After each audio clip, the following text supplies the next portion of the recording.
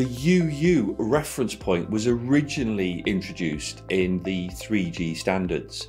So in 2G, we had what's called the UM reference point. Now, the U, the big U, relates to the fact that this is uh, ISDN based terminology. So it's related to like the user interface. And the little M in 2G was related to being modified.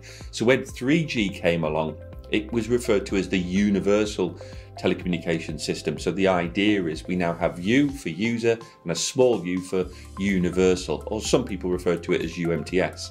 Now, the reason I say that is because we also use this Uu reference point terminology in 4G and 5G as well. So it's worth pointing out that 3G, 4G, 5G use the same reference point to identify the air interface. So between the device, the user equipment, and the RAN, the radio access network.